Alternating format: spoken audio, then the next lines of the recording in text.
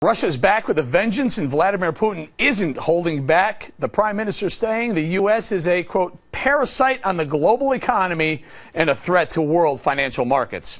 Are the U.S. Russian relations on a slippery slope? Heritage Foundation Senior Fellow for Russian Studies, Ariel Cohen, joins us now. Sir, what's with the renewed, I don't know, stepped up rhetoric out of, out of Putin lately? Well, Vladimir Putin uh, has a default mode, and that is hit America. Uh, he doesn't like the United States. He's campaigning to get back in power in 2012 to be uh, the president of Russia for the third time. Uh, and he is really upset because for a moment it looked like we may default, and Russia, and he mentioned also China, uh, are holding a lot of their reserves in U.S. treasuries. So for the Russians, with their memory of a horrible Russian default when they devalued their currency 75% in 1998. A default means an economic catastrophe. And as they're holding billions and billions uh, uh, of U.S. Okay, treasuries. Okay, okay, hold on. Let me stop you yeah. here. So why is this genius talking us down? Why is he saying, hey, America, you're a parasite? If he's worried about the default, he should be building us up, should he not?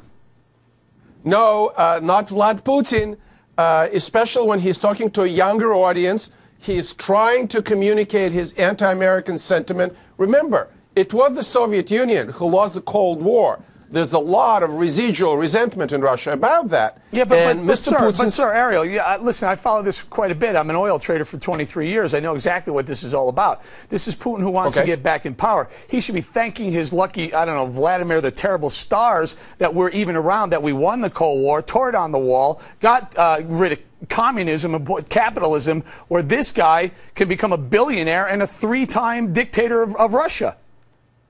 Absolutely not. Uh, Vladimir Putin is always looking at the world through a prism uh, of the competition with the United States. He wants as big and as powerful as we are, um, and he's kicking us uh, when uh, our economy is down. He said, Look at them. Uh, they're irresponsible. They let their debt to become a, a, runaway problem for the world.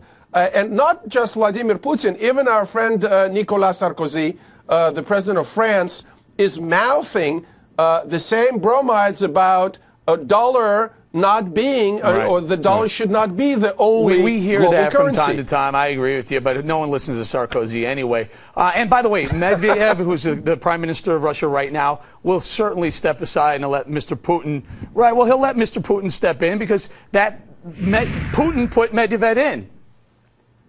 Absolutely. Uh, Medvedev is the sorcerer's apprentice.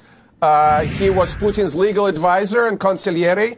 And now that the requirement of the Russian constitution is fulfilled, Putin can come back and Medvedev, would just uh, salute and do what the boss says. Absolutely. Absolutely agree, Sarah. Thank you very much for joining us, Ariel Cohen.